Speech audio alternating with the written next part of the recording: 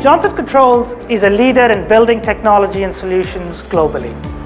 We have unsurpassed scope across HVAC equipment, building management systems, fire suppression systems, and security products and solutions.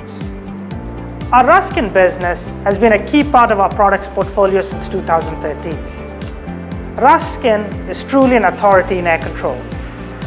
We are committed to building and expanding its leadership positions across the world, in the US, in Asia Pacific, Europe, and the Middle East.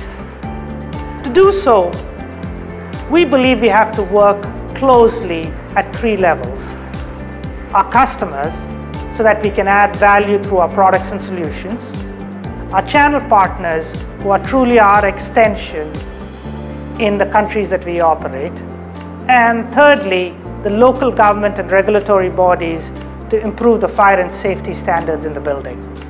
We are investing in each of the markets we're trying to grow and in the process creating jobs and becoming active parts of the communities that we operate in. We are very excited to partner with all of you on the journey that we are on.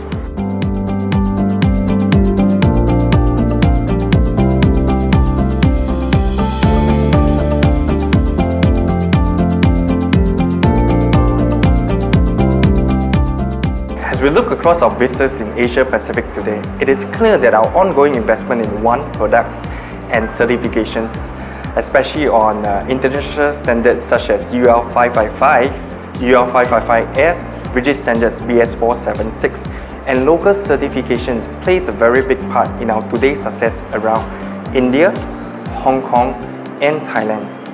Now as we look into serving the needs of the industries and innovative and continue to grow with international standards, our TMD80, our tunnel ventilation damper, is the largest cross-sectional dampers to be certified at 4.5 meters times 2.15 meters. We are also the only manufacturer that's able to provide and quantify blade fatigue test at a minimum of 8.5 million pressure reversal. Now, coupled with our manufacturing footprint in Gulf, India, and Thailand, we are looking at the next generation of Ruskin dampers or developing the next generation of Ruskin products to serve across the industry. Ruskin, empowering expertise to resolve customers' challenges.